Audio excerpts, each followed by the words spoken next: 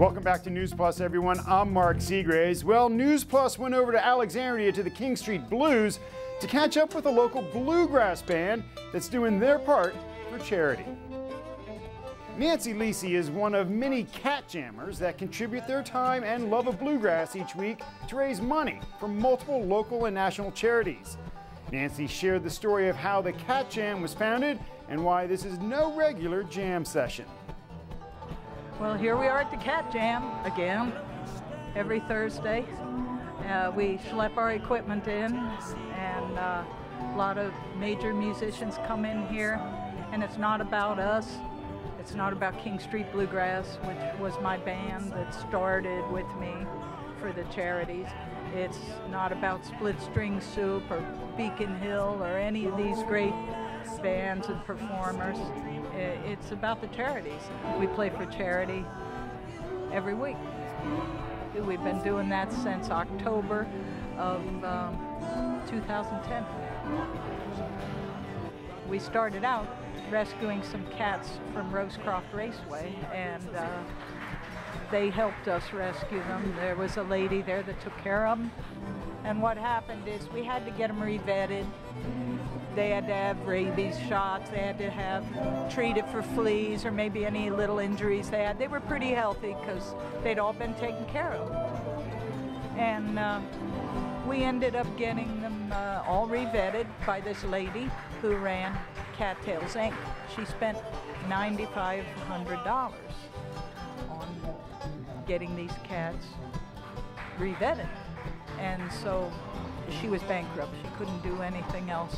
Uh, she couldn't do her regular rescues because of this. So we felt really bad, and I said, I'll pay her back. And everybody said, well, I don't know. I don't know if we can pay back $9,500. Maybe we get a grant or whatever. So I'll tell you, I'll go down the road and I'll to this club, and I'll play music for tips.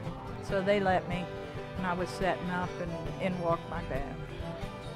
King Street Bluegrass, and they said, Nancy, we're not going to let you do this by yourself. All my friends got together. We did a big email campaign, and they did a big flyer campaign, and uh, they got homes promised for all these cats. It turned out to be 110 cats time it was all over.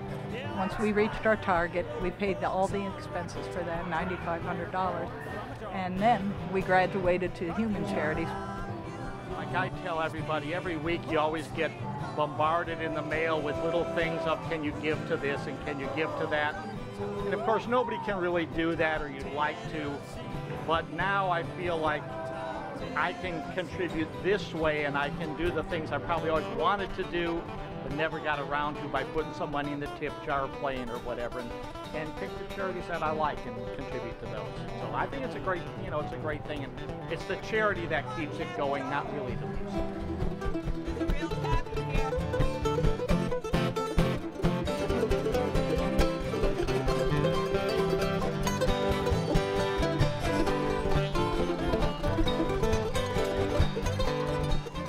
If anybody has a charity come here Thursday nights at King Street Blues, 8 o'clock. Come to the Cat Jam and suggest it, and we'll we'll pick for it. We'll play for it. Simple again. Rocky Top, you'll always be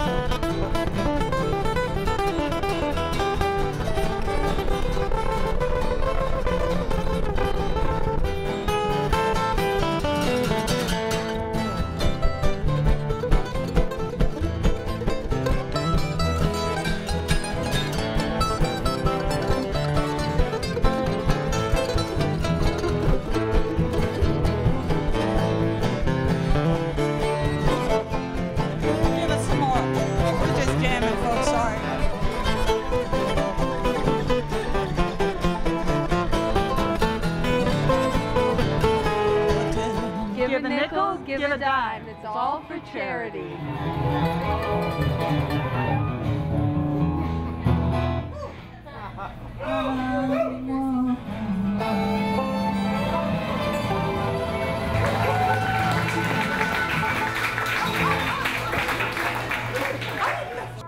We're doing it. It's got a lot of the same notes in it and Okay. it's in the same key.